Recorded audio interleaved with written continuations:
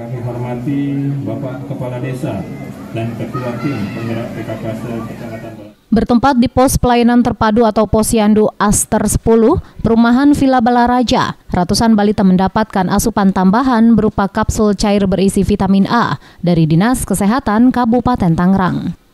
Pemberian asupan gizi protein tambahan bagi ribuan balita di Kabupaten Tangerang yang digelar Dinas Kesehatan sebagai wujud untuk melawan stunting yang masih banyak mendera di masyarakat. Selain mendapatkan vitamin A gratis, tim kesehatan dan kader posyandu juga membagikan telur matang gratis kepada balita dan orang tua.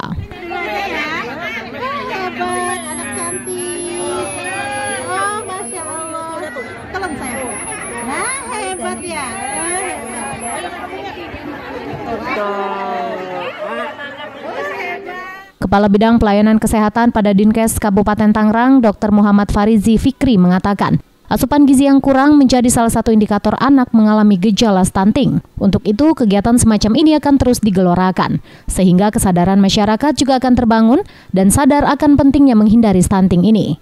Selain ada pemberian vitamin A, Dinas Kesehatan juga memberikan telur gratis dan timbang badan untuk balita. Dan pengukuran tinggi badan untuk anak sekabupaten Tangerang untuk bisa memantau, ya, memantau pertumbuhan anak sekabupaten Tangerang. Hal ini memang secara rutin, tetapi kita akan selalu gaungkan terus dengan acara-acara seremonial seperti ini agar masyarakat melihat dan memahami sehingga masyarakat dapat ikut serta dalam kegiatan-kegiatan penurunan angka-angka stunting ini terutama untuk ibu-ibu ya yang mempunyai anak balita agar membawa anaknya ke posyandu untuk ikut serta melakukan penimbangan dan pengukuran berat badan. Sementara Amelia, salah satu warga mengaku sangat bahagia anaknya bisa mendapatkan vitamin A dari posyandu.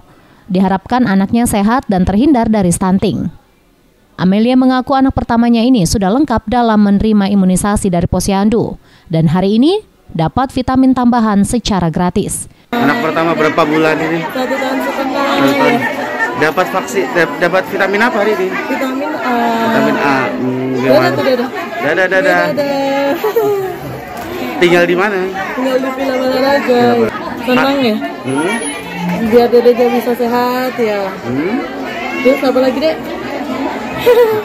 Biar dede nggak stunting juga ya. Uh.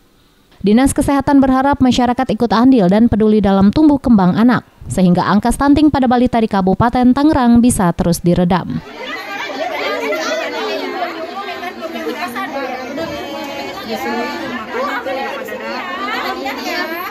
Tim Liputan Banten TV dari Kabupaten Tangerang memberitakan.